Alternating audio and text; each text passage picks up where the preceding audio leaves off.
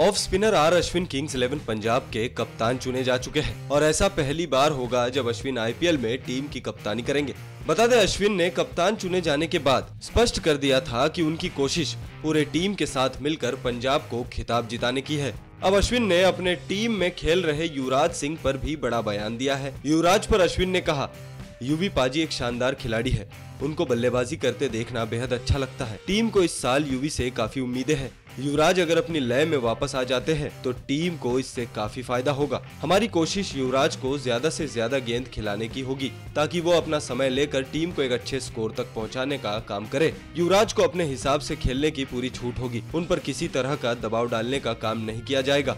अश्विन यही नहीं रुके। आगे उन्होंने कहा कि युवराज बल्लेबाजी के अलावा गेंदबाजी से भी टीम के लिए काफ़ी अहम साबित हो सकते हैं। युवराज सिंह ने कई बार भारतीय टीम को अपनी गेंदबाजी के दम पर मैच जिताने का काम किया है। हम उन्हें गेंदबाजी करने का भी पूरा मौका देंगे।